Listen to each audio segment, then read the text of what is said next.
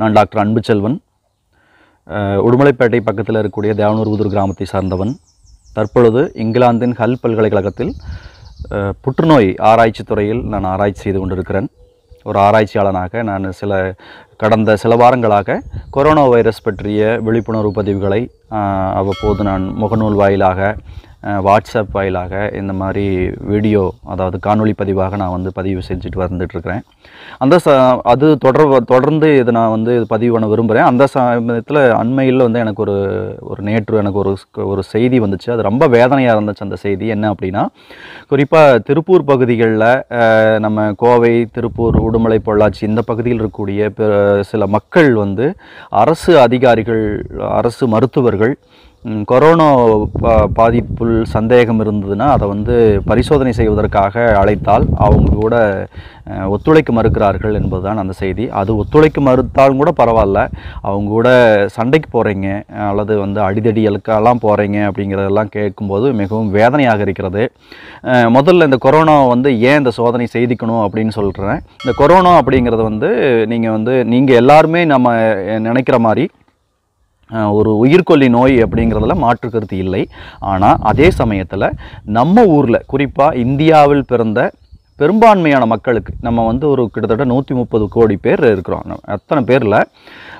பார்த்தீங்க அப்படின்னா எல்லாருக்குமே வந்து அந்த மண்ணில் பிறந்தவர்களுக்குன்னு ஒரு நோய் எதிர்ப்பு ஆற்றல் இருக்கிறது. மற்ற நாடுகளோடு ஒப்பிட்டு பார்க்கும் பொழுது நம்ம ஊரில் அந்த நோய் எதிர்ப்பு ஆற்றல் அதிகமாக இருக்கிறது வந்து இப்போ நம்ம வந்து கண்கூடாக பார்த்துக்கிட்டு இருக்கிறோம். ஏன் அப்படின்னா மற்ற நாடுகள் இப்போ நான் இருக்கக்கூடிய இங்கிலாந்தில் இது வரைக்கும் பார்த்திங்கன்னா முப்பத்தி எட்டாயிரம் பேருக்கு பக்கத்தில் இந்த ம இந்த நோய் எதிர்ப்பு நோய் ச நோய் தாக்கி இருக்கிறது. இந்த கொரோனா வைரஸ் தாக்குதலுக்கு உள்ளானவர்கள் இருக்கிறாங்க. கிட்டத்தட்ட கிட்டத்தட்ட நாலாயிரம் பேர் வரைக்கும் இங்கே வந்து இறந்து போயிருக்காங்க. ஆனால் நம்ம ஊரில் அப்படி கிடையாது.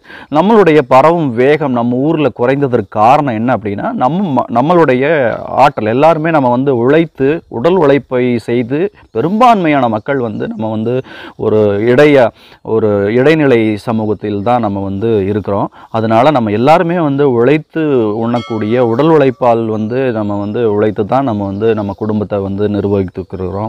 நம்ம குடும்பத்தை வந்து உயர்த்தி கொண்டிருக்கிறோம். நம்ம குழந்தைகளை வந்து நம்மளுடைய சொந்த பந்தங்களை எல்லாம் வந்து அதன் மூலமாகத்தான் நாம் வந்து உயர்ந்து கொண்டு வருகிறோம். அப்படி இருக்கக்கூடிய ஒரு சூழலில் இந்த மாதிரி ஒரு ஒரு சூழலில் ரொம்ப ஒரு கொடுமையான உலகமெங்கும் பரவக்கூடிய இந்த பரவி இருக்கக்கூடிய இந்த கொரோனா வைரஸுக்கு நம்ம வந்து தாக்குதலுக்கு உள்ளாகிவிட்டால் எல்லோரும் இறந்து போவோமோ என்ற என்று தயவு செஞ்சு நீங்கள் நினைக்க வேண்டியதில்லை.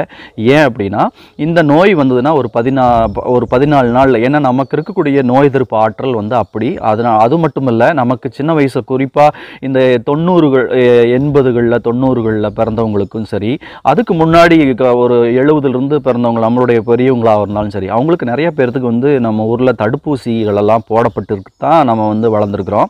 அதனால இந்த மாதிரி ஒரு தடுப்பூசிகளெல்லாம் வந்து நம்ம ஏற்கனவே நம்ம நம்மளுக்கு போட்டோம் ஏன்னா இந்த நாடுகளெல்லாம் பார்த்திங்கன்னா கொசுவே கிடையாது.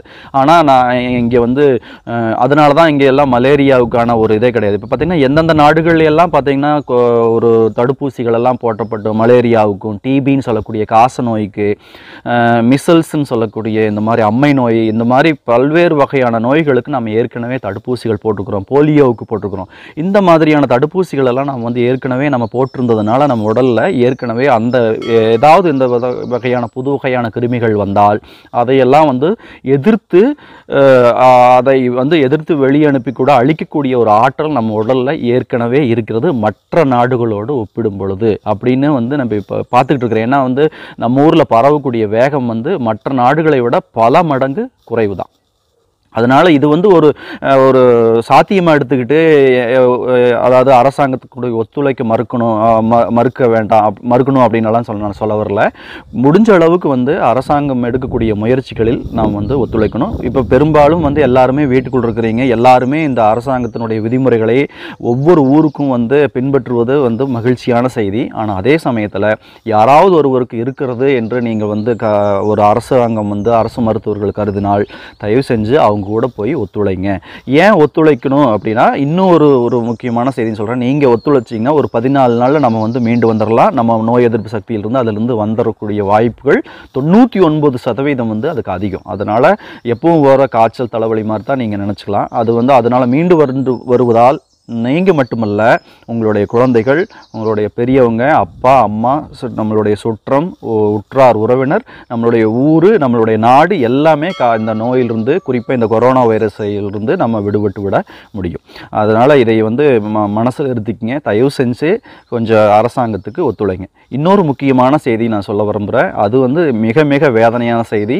இது ஒரு ஒரு தமிழ்நாட்டுக்கு மட்டுமல்ல இந்த இந்த உலகத்துக்கே வந்து த ஒரு தமிழர்கள்னால் ஒரு மிக சான்றாண்மை மிக்கவர்களாக ஒரு எப்படி சொல்கிறதுனா உலக அளவில் நீங்கள் தமிழ் தமிழர்கள் அப்படின்னு சொன்னாலே அது வந்து ஒரு ஒரு பெருமைக்குரிய ஒரு விஷயமாக போய் இப்போ வந்து ஒரு சின்ன ஒரு அதுக்கு ஒரு தீங்கு வந்து விடுமோ அப்படிங்கக்கூடிய ஒரு பயம் வந்திருக்கு. என்ன அப்படின்னா யாராவது ஒரு ஊருக்குள்ளே யாரோ ஒருத்தருக்கு ஒரு நோய் இருந்ததுன்னா அவர்களை பற்றி ஒரு தவறாக செய்தி பரப்புறது. அதாவது அவங்களுக்கு முன்னாடி இருக்கக்கூடிய ஒரு நமக்கெல்லாம் ஒன்றும் வராது அப்படிங்கக்கூடிய ஒரு எண்ணம். பார்த்தீங்கன்னா ரெண்டாயிரம் வருஷத்துக்கு முன்னாடியே நம்ம திருவள்ளுவர் ஒரு திருக்குறள் ஒன்று சொல்லியிருக்காரு. நெருநல் உளனொருவன் இன்றில்லை என்னும் பெருமை படைத்து இவ்வுலகு அப்படின்னு சொல்கிறார் அதாவது நேற்று இருந்தவன் இன்னைக்கு இல்லைங்கிறது தான் இந்த உலகத்தினுடைய சிறப்பு. அதனால் நம்மளுக்கும் கூட இந்த சாவு வந்து என்னைக்கு வேணாலும் வரலாம் அப்படிங்கிறத வந்து தயவு செஞ்சு மனசில் வச்சுக்கிட்டு இந்த வாட்ஸ்அப் செய்திகளை யாராவது ஒரு ஒருத்தருக்கு வந்து நோய் தாக்குதல் இருந்தால் அவங்கள பற்றி ஒரு புரளி கிளப்புறது அவங்கள பற்றி ஒரு வதந்தியை கிளப்பி இந்த வாட்ஸ்அப் வழியாக தகவல்களை வந்து கசிய விட்டு அவங்கள வந்து இழிவுபடுத்துறது கேவலப்படுத்துறது இது இதெல்லாம் வந்து தயவு செஞ்சு ம மனசார ஒரு மனிதாபிமானத்தோடு நம்ம வந்து நடந்துக்கணும் அப்படின்னு சொல்லி நான் கேட்டுக்கிறேன். இதையும் விட்டுருங்க. இது இன்னொன்று இருக்குது நம்ம ஊரில் வந்து இந்த கொள்ளையில் போனவனே அப்படிங்கக்கூடிய ஒரு ஒரு சொல் வசை சொல்ல இருக்கும் அந்த பெரியவங்கள்லாம் அதை அந்த சொல்லை வந்து இப்போ வந்து நிறைய பேர் அதை கேட்டிருப்பீங்களா? அது தெரியல. பெரியவங்கள்லாம் ஓரளவுக்கு கேட்டிருப்போம். என்னை மாதிரி இருக்கக்கூடிய வயசு இருக்கிறவங்கலாம் வந்து பெரியவங்க இந்த கொள்ளையில் போனவனே அப்படிங்கக்கூடிய ஒரு நோய்க்கு ஒரு இது கேட்டிருப்பாங்க. கொள்ளையில் போனவனே அப்படிங்கிற இந்த வசை சொல்லுக்கு கோலம் என்ன அப்படின்னா கிட்டத்தட்ட ஒரு நூற்றி ஐம்பது ஆண்டுகளுக்கு முன்னாடி நம்ம ஊரில் குறிப்பாக இந்தியா முழுவதுமே இந்த பிளேக் நோய் அப்படிங்கக்கூடிய ஒரு நோய் இருந்துச்சு. அதுலேயும் தமிழ்நாட்டிலையும் நம்ம ஊர்களையெல்லாம் வந்து நிறைய இருந்துச்சு. அதில் திருப்பூர் கோவை பொள்ளாச்சி உடுமலை மாவட்டங்களில் ப உடுமலை பகுதிகளில் பார்த்தீங்கன்னா எல்லா கிராமங்கள்லேயும் அப்போல்லாம் பார்த்தீங்கன்னா ஒரு மீறி மீறி போனால் ஒரு ஆயிரம் பேர் இருந்திருப்பாங்க. ஆனால் ஆனால் அந்த ஆயிரம் பேர்லேயே இந்த பிளேக் நோய் அப்படின்னு சொல்லக்கூடிய ஒரு வகை நோய் வந்து அப்போல்லாம் பரவிச்சு. இப்போ ஒவ்வொரு ஆண்டுக்குமே பார்த்தீங்கன்னா இங்கே பிளேக் நோய் பரவிக்கிட்டே தான் இருந்தது. அது பிளேக்குங்கிறதும் கூட ஒரு வகையான வைரஸினால் உருவாகக்கூடிய நோய் தான். ஆனால் அந்த நோயெல்லாம் அப்போல்லாம் பார்த்தீங்கன்னா இந்த மாதிரி ஒரு எல்லா இடங்களுக்கும் போய் வரக்கூடிய ஒரு வசதி வாய்ப்புகள் நம்ம நம்ம பெரியவங்களுக்கெல்லாம் இல்லை. ஆனால் அந்த காலத்துலேயும் அப் அப் அப்படி இருந்த ஒரு தனித்தனியாக ஐசோலேட்டடாக இருந்த மக்களுக்கும் கூட இந்த பிளேக் நோய் வந்துச்சு. அந்த பிளேக் நோய் வந்ததுனால பார்த்தீங்க அப்படின்னா ஒவ்வொரு ஊருக்கும் ஒரு ஆயிரம் பேர் இருக்கக்கூடிய ஒரு ஊரில் இரநூறுலேருந்து முந்நூறு பேர் வரைக்கும் எல்லாம் கூட அந்த இறந்து போயிட்டாங்க. சில பேர் வந்து தோட்டங்களுக்கு போய் கிட்டத்தட்ட குடி அப்போ அப்போ தான் அப்போ தான் வந்து இந்த ஊர்லேருந்து எல்லாருமே வந்து அவங்கவுங்க போய் தோட்ட சாலைகளில் போய் வீடு கட்டி அங்கேயே குடியிருக்கக்கூடிய ஒரு சூழலெல்லாம் அப்போ தான் உருவாச்சு. அதுக்கு முன்னாடி வரைக்கும் எல்லாருமே வந்து நம்ம வந்து கிராமங்களில் எல்லாருமே ஊருக்கு ஊருக்குள்ளே தான் இருந்தது. எல்லாத்துக்குமே பார்த்தீங்கன்னா இப்போ தோட்டசாலையில் இருக்கிறவங்க எல்லாத்துக்குமே பார்த்தீங்கன்னா ஒரு வீடு வந்து கிராமத்து ஊருக்குள்ளே இருக்கும். அது காரணம் என்ன அப்படின்னா இதுதான் இந்த பிளேக் நோய் வந்த சமயத்தில் தான் நிறைய பேர் வந்து தன்னுடைய குடிகளை எல்லாம் வந்து தம் ஊருக்குள்ளே இருந்து தோட்டங்களுக்கு மாறி போயிருந்தெல்லாம் வரலாறு உண்டு.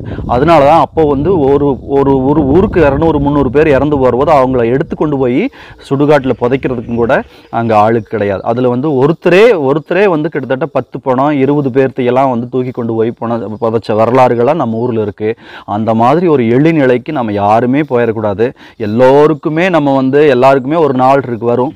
ஆனால் அது வரைக்குமே நம்ம வந்து எல்லாத்தையும் வந்து ஒரு மனிதாபிமானத்தோடு நடந்துக்குவோம். பரிசோதனைக்கு ஒத்துழைப்போம். இந்த நோயிலிருந்து நம்ம வந்து மீண்டு வருவோம். குறிப்பாக நம்ம நாட்டு மக்கள் கண்டிப்பாக சீக்கிரமாக மீண்டு வந்துருவோம்னு நம்புகிறேன் நன்றி. வணக்கம்.